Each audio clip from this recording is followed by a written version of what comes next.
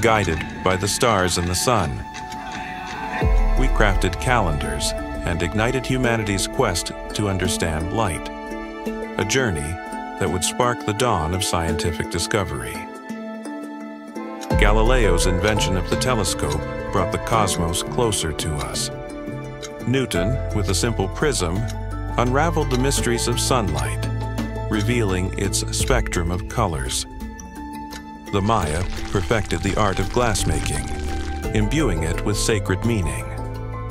Centuries later, Dr. Charles Kao harnessed the principle of total internal reflection to create optical fiber, launching a new era of information transmission.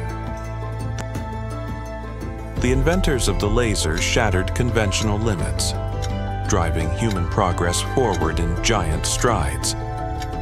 Young's double-slit experiment revealed light's dual nature.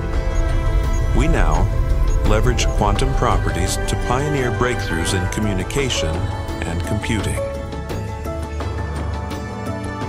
Today, we still gaze at the stars, choosing exploration, choosing innovation, and together illuminate the future of light.